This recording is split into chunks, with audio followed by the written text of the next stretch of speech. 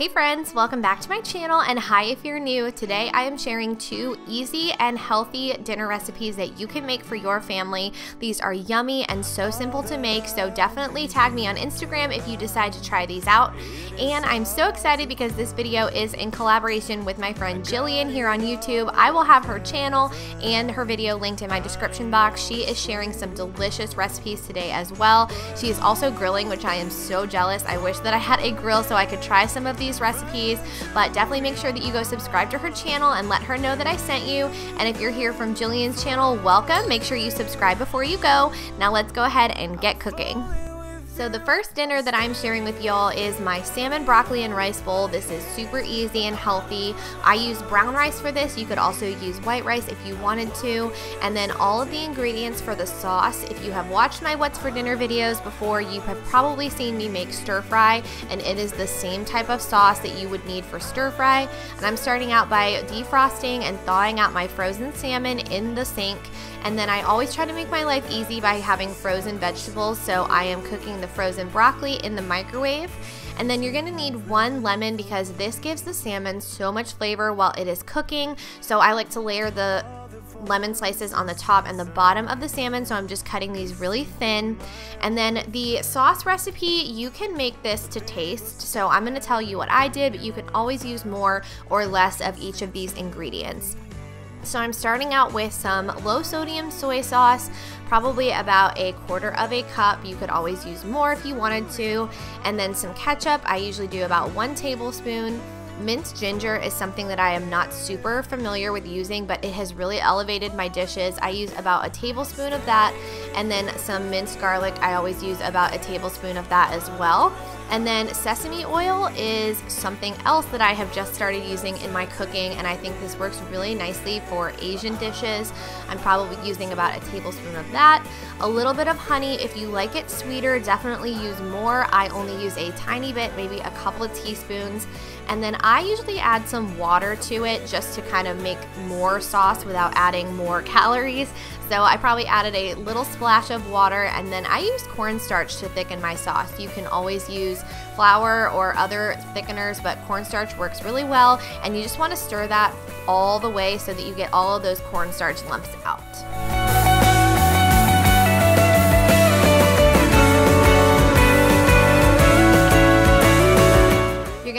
Heat up some olive oil in your pan and then lay your lemon slices down on the bottom.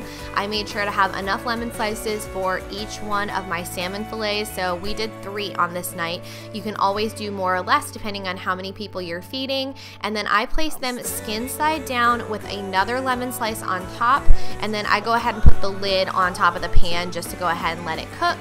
And then I'm gonna get the rice going. Just put a little bit of water in a pan and then I put the rice in after it has started boiling. I use instant rice to make my life super easy and you can always use white rice if you prefer that as well. But once it has started to boil, go ahead and put the lid on top and then turn the heat down so you can let it simmer. This took about 10 minutes.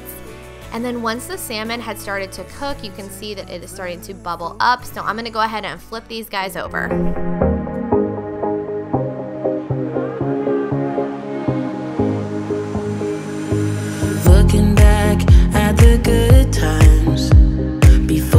Once they have fully cooked on the top and bottom, then I'm just going to remove the lemon slices. I don't really eat the lemon slices. I guess you could if you wanted to, but I'm just going to go ahead and remove those from the pan.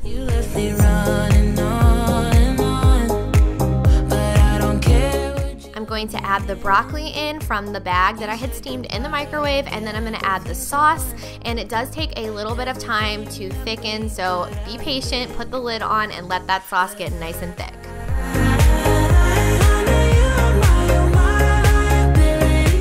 Rice cooks super fast and so does the fish, so this is a very easy recipe and it is super quick. If you are looking for something healthy but you don't have a ton of time to cook, then this is definitely something I would recommend that you try making.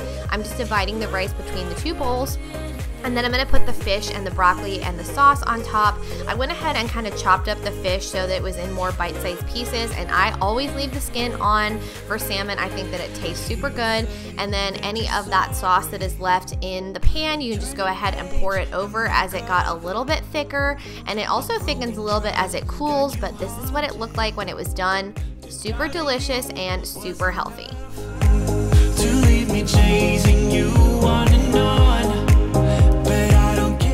Alright, the second recipe I'm sharing with you guys are baked potatoes, and I know these are super easy, but you're gonna preheat your oven to 400 degrees, and the potatoes take about an hour to cook. Just make sure that you poke some holes in them before you stick them in, and then you can use whatever you want for a loaded baked potato. You can put whatever toppings that you want.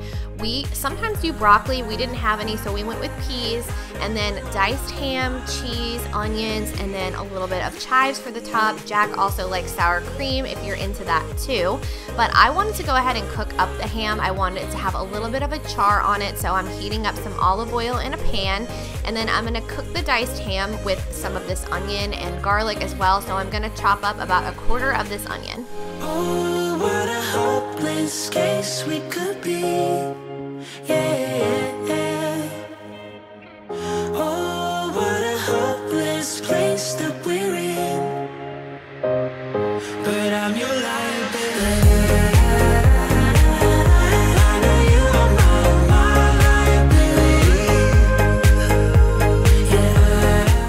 Like I said, we love doing broccoli, but we did not have any broccoli on this day, so we opted for peas because you gotta get your greens in somehow. So I'm just cooking these in a little bit of water in the microwave just to take the chill off since they were frozen.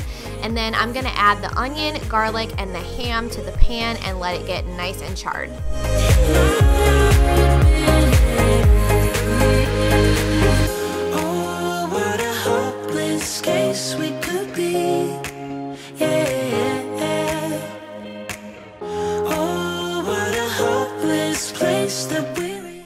Also do bacon in the pan if you wanted to and then crumble it up into bacon bits if you're trying to use up some leftover bacon. We have done that before as well. And then I'm going to cut up a few chives. I think this is just a nice little addition to the top of the potatoes. Chose to say goodbye, but I can help my feelings.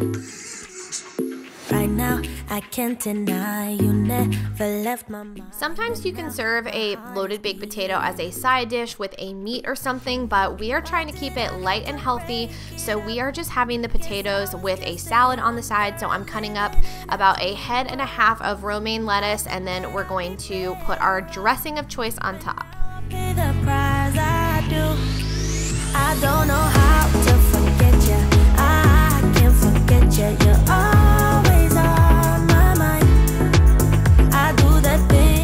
Potatoes are super hot when they come out of the oven, so I do like to cut right down the middle and butterfly them a little bit just to kind of open them up. And then I am fixing my potato here. This is what I like to put on it. I always like to stick some butter in it right when it comes out of the oven and I open it up so that the butter has some time to melt. I'm gonna add the peas to it, but again, you could use broccoli if you wanted to, the ham and some cheese. I'm not a big fan of sour cream, but you could definitely do that if you wanted telling me about your secrets. I dream and fantasize that I come by